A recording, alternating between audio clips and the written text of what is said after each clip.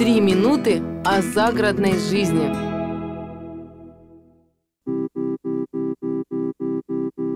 Утро на Сергей, Енисея.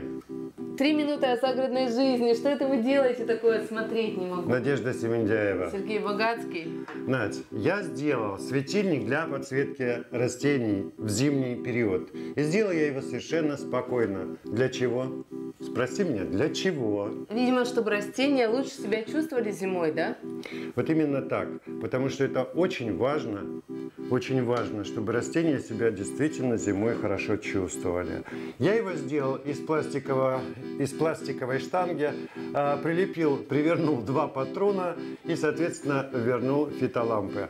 Соответственно, у меня всю зиму мои растения получают нужный спектр цвета. Света. бы Сергей, объясните, пожалуйста, почему ваши лампы светят э, то фиолетовым, то вот каким-то темно-фиолетовым, то светло-фиолетовым? Надя, это тот самый спектр, который а, очень близок к дневному, к солнечному свету, от которого растения просто начинают э, бодреть на глазах. И зимой это очень важно. А объясните технологию, почему они бодреют, собственно? Потому что- поняли.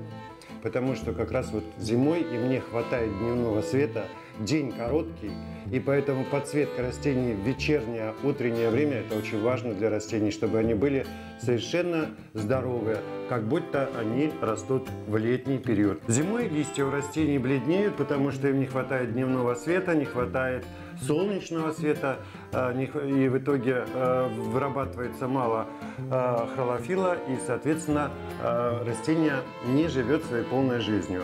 А чтобы оно э, жило полной жизнью, да еще и давало нам какой-нибудь урожай в домашних условиях, обязательно э, фитолампу нужно иметь. Сергей, давайте дадим полную информацию. Расскажите, на какой высоте это нужно крепить, э, как?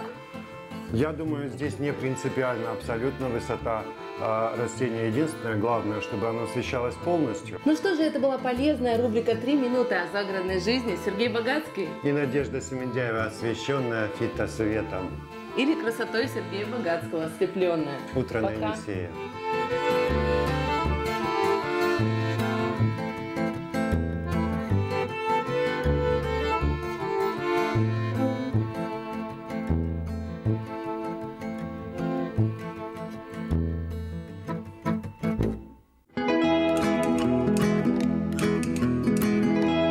Три минуты о загородной жизни.